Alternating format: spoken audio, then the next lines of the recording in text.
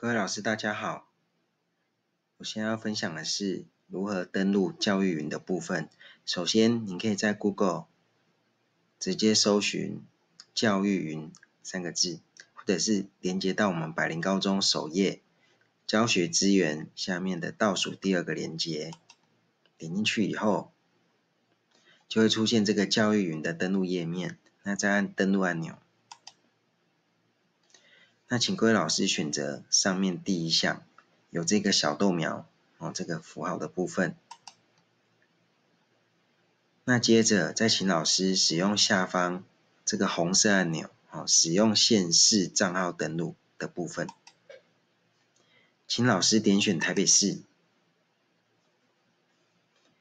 点选以后，请老师输入我们刚刚所设定的。新版单一嵌入的部分的账号密码，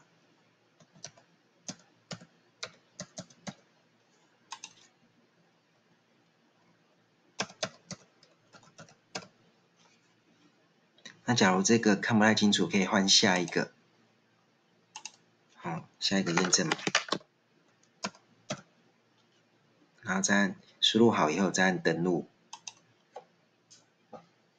然后会出现这一个同意授权，好，这个页面，那请老师点选同意，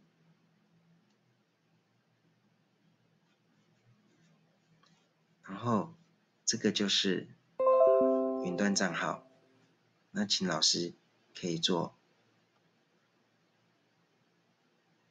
使用，然后最后。按我知道了以后，再按同意授权。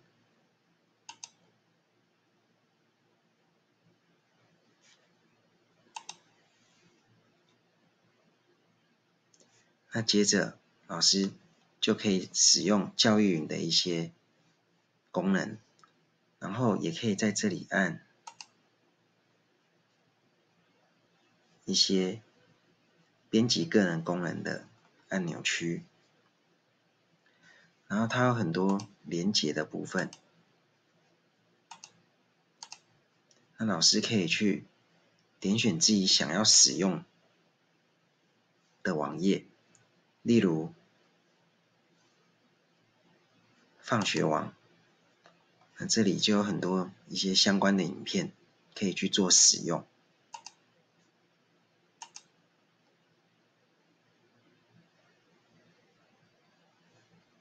那其他部分，那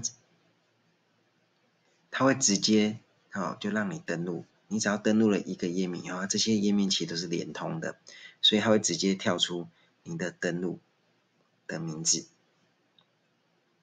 那有关这些网页的使用，再请老师详细的去做参阅，谢谢。